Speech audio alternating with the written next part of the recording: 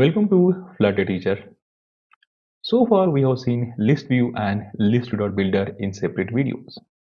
In this video, based on four important factors, I'm going to compare list view with list view builder. So without wasting time, let's get started. Let's start from the construct syntax. List view has a children property that takes the list of widgets. So whatever widget that we passed here will be displayed as the scrollable list of item.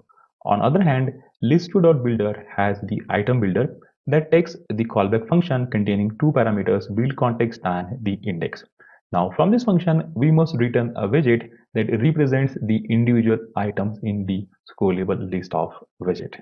We can also control the number of items to be displayed by using this item count property. Now let's understand the difference between working principle. We have a list view that contains 10 different elements here and these elements are created by using the function called getItem that takes the index of element and in order to print which element is created I have simply called this print function here which is printing some message along with the index of element. From this function I am returning a container with some margin alignment and color here. In order to display some content on this container we simply have a text that is printing the item along with that we have the index of element to be displayed. Now let me come to this uh, list view here.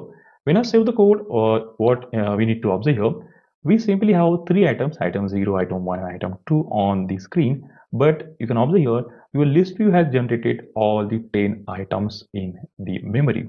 It means irrespective of number of elements created or displayed on the screen, your list view will generate all the elements present in the list at once.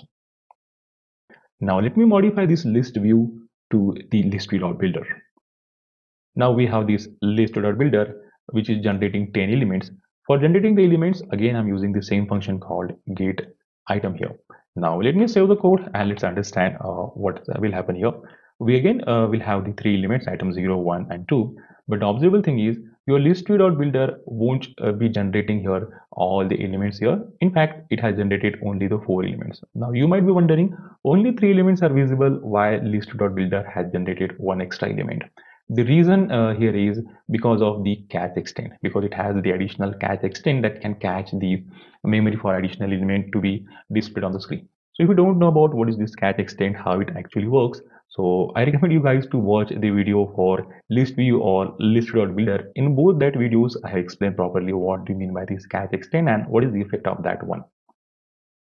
Now, as I scroll down here, you can observe now elements are created and as I scroll up here, okay, whatever elements which are removed from the memory, those elements will be again recreated. It means in case of your list builder, it won't create all the elements at once. In fact, it will create the elements or it will load the elements on demand as users scroll up or down. Now let's talk about the performance factor.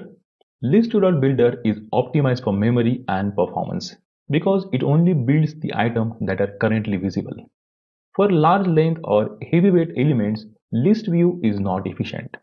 In case of small size list or say uh, some uh, fixed length elements, use of list view may be found efficient. Now frequently asked question is uh, which one to use. If your data is dynamic and frequently changing, for example, data coming from the backend, then listview.builder is the most suitable. For example, lists like WhatsApp chats, Facebook posts, and products of the shopping applications are recommended to create using the listview.builder. On other hand, if we have a data which is static or small in size, for, for example, say setting options in application or say items in the drawer and list of alarms are mostly preferred in the list view. That's it for this video. See you guys in the next video. If you really found this video helpful and knowledgeable, then don't forget to like, share, subscribe and hit the bell notification button to get my latest videos.